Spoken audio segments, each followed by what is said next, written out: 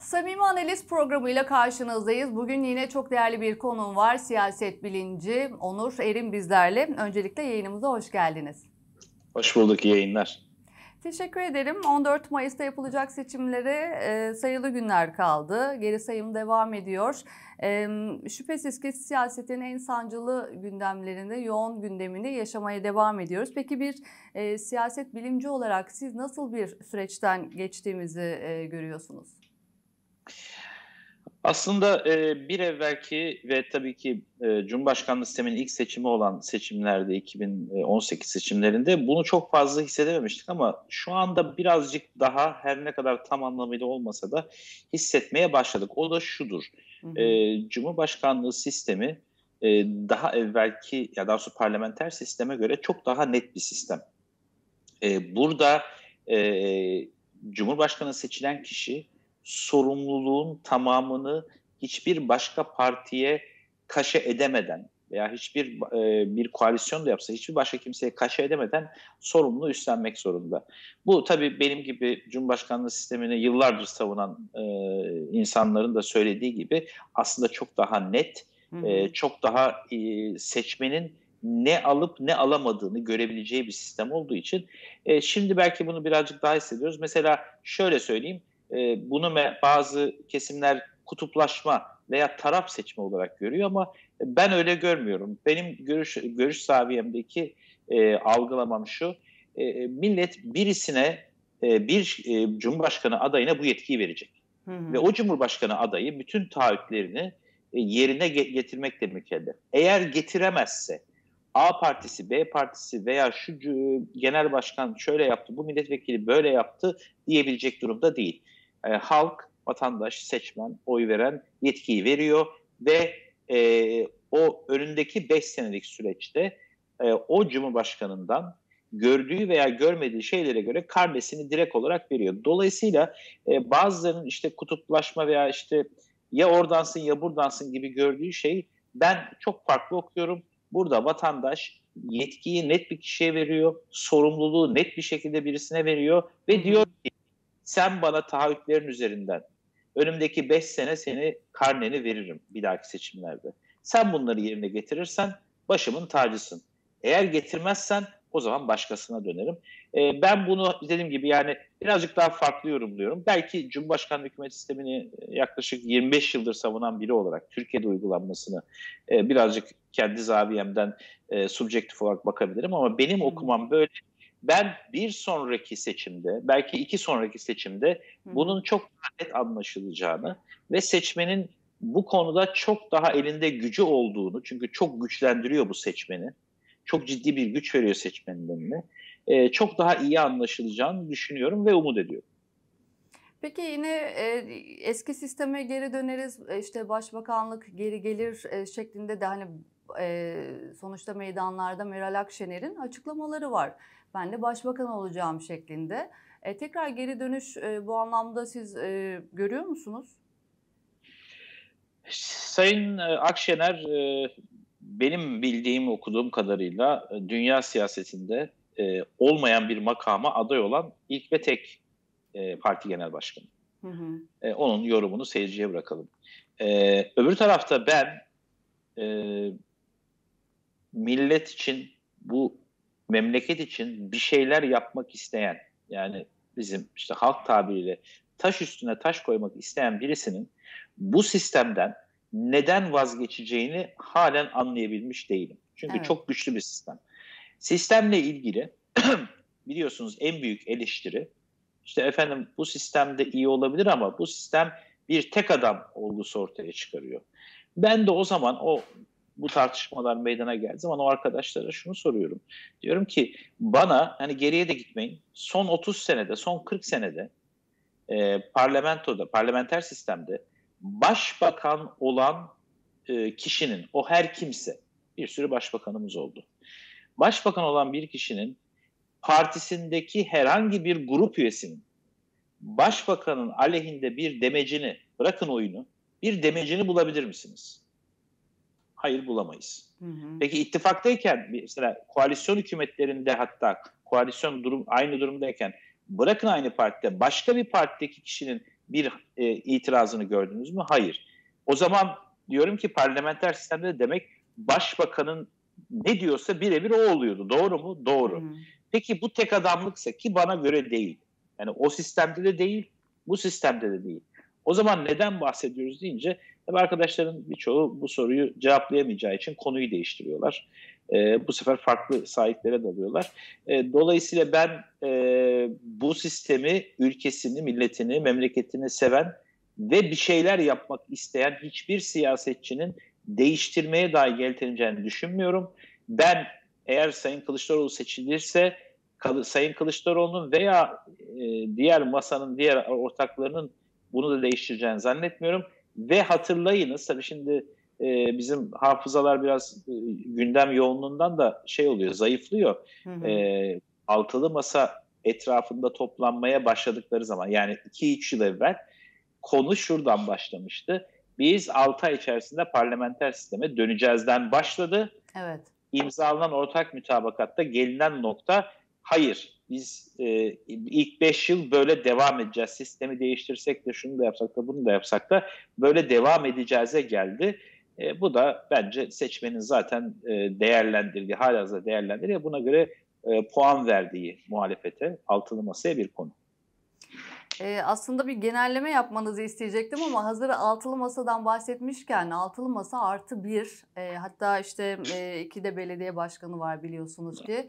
E, o tarafları yani altılı masa artı bir ile yedi e, ismin bir araya gelmesini, onların vaatlerini, e, işte bu süreçte yaptıklarını nasıl değerlendiriyorsunuz? Keşke değerlendirebilecek bir veri olsa elimizde. Hı hı. Yani e, şimdi bakın e, bizim önümüze üç tane e, evrak koyuldu.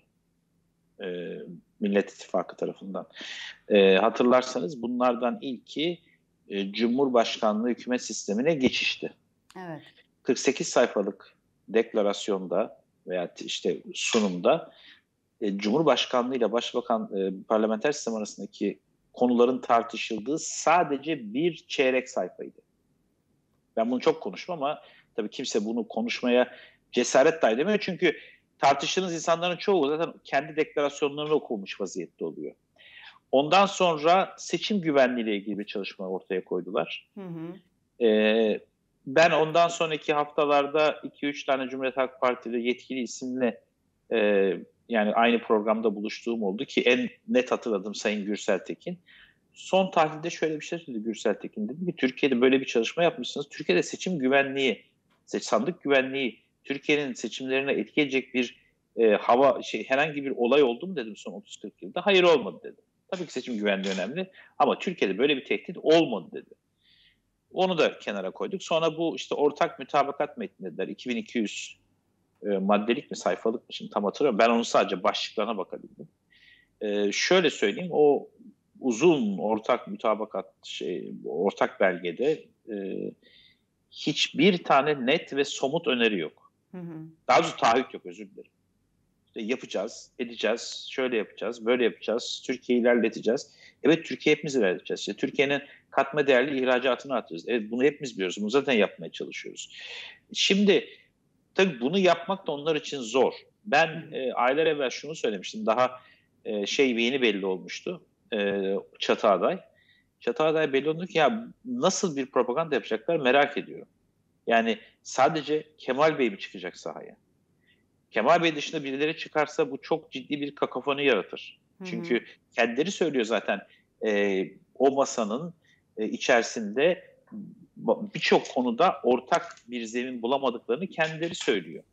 E, ve dolayısıyla işte görüyorsunuz e, şu gün itibariyle e, Millet İttifakı şöyle bir şeye angaj olmuş durumda. İşte Kemal Bey bizim adayımız. İşte Sayın Meral Hanım'ın da birazcık popülaritesi var. Ama bizim en popüler e, kişilerimiz Ekrem Bey ile Mansur Bey.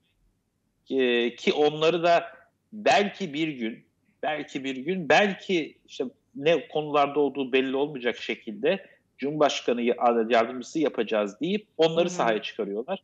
Mesela ben çok merak ediyorum. Ali Babacan niye mitinglere katılmıyor Kemal Bey'le? Davutoğlu niye katılmıyor? Sayın Temel Bey niye katılmıyor? Ee, veya Sayın Uysal niye katılmıyor? Ben e, merak ediyorum derken hani ben bakıyorum ve çok anlayamıyorum. Ee, muhtemelen de katılmayacaklar. Yani bir iki tane göstermelik yerde sahneye çıkarlar, bir alkışlatırlar onları ve devam ederler. Bu seçmen açısından tabii çok zararlı bir durum. Şöyle, e, seçmen her şeyden önce istikrara bakar. Evet. Sürdürülebilirliğe bakar ve e, en önemlisi güvene bakar. Hı hı. Şu ana kadar çizdikleri tablo çok güven verici bir tablo olarak görmüyorum ben. Peki biz zaman zaman sokağa da çıkıyoruz ve sokağa çıktığımızda e, bazen en fazla duyduğumuz seslerden biri de ekonomi oluyor. E, şimdi ekonomi evet hepimizin dilinde e, ve seçim vaatleri de her iki e, her taraftan da malumunuz ortada. Sizce bu seçim vaatleri özellikle ekonomik e, sıkıntılardan geçtiğimiz bu süreçte yeterli mi? Nasıl görüyorsunuz? Şimdi ben e, Türk seçmenini uzun yıllardan beri, yani beni takip edebildiğim yıllardan beri e, dünyada en nokta atışı yapan, mesajını siyasetçiye böyle milimetrik e, hata paylarıyla yani hani hatasız verebilen bir seçmen olarak görüyorum. Hı hı. Şimdi bütün ülkemizde e, özellikle alım gücüne yönelik ve özellikle 5-6 sene evveline yönelik alım gücümüzün düştüğü ve ekonomik olarak hiç kimsenin çok hoş olduğu, çok e, yani mutlu olduğu bir ortamda olmadığımız zaten aşikar. Evet. Bunda bir sıkıntı yok. Ve fakat muhalefetin atladığı bir konu var.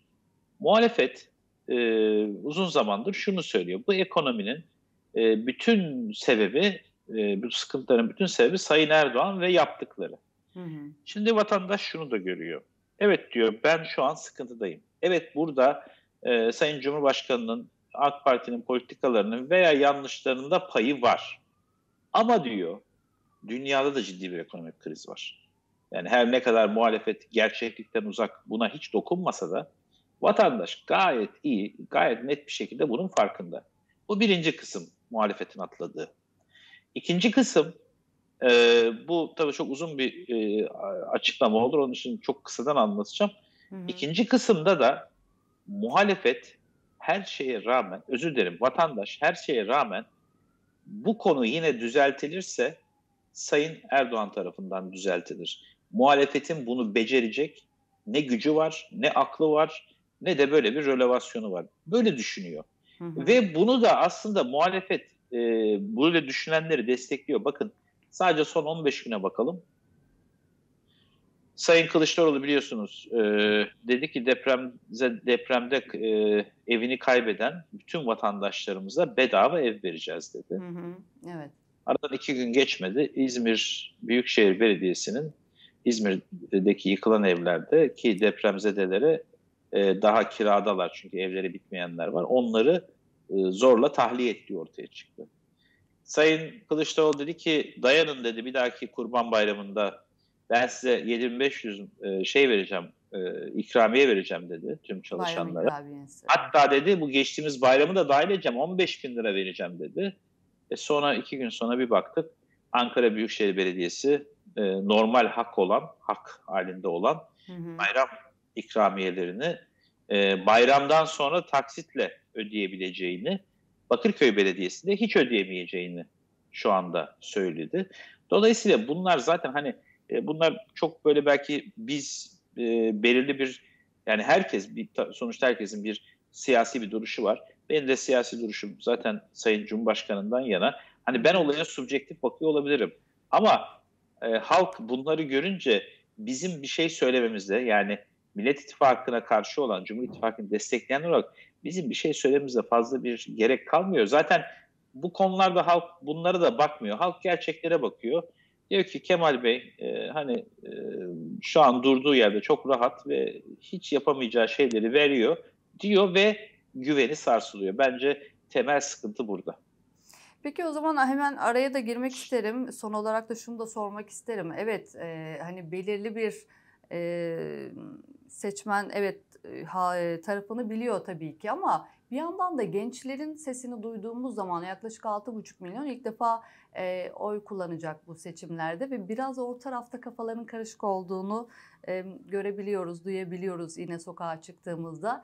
E, sizce tam olarak iyi bir şekilde anlatılamıyor mu? Hani biz geçmişte bu sıkıntıları yaşadık. Tamam bunlar da geçecek mi denilemiyor. Tam olarak oradaki iletişimsizlik neden kaynaklanıyor?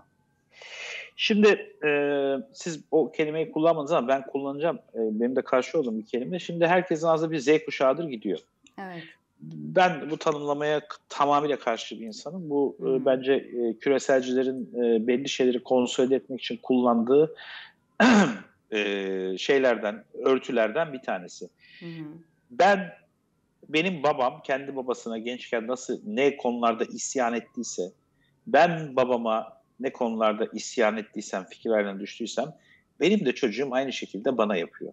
Hı. Bana sorarsanız e, bir kere bu Z kuşağı safsatasından e, gençliğin böyle çok değişik bir gençlik geliyor işte konusuna çok ben hem fikir değilim. Hı hı. E, onu çok desteklemiyorum. Gençlik aynı gençlik. Sonuçta bunlar bizim çocuklarımız. Yani bu ülkede yaşayan insanların çocukları. Fakat ne oldu? Son dönemde yani son 15 yılda iletişim çok ucuzladı ve hızlandı. Evet. Ee, ile, ulaştırma çok ucuzladı ve hızlandı.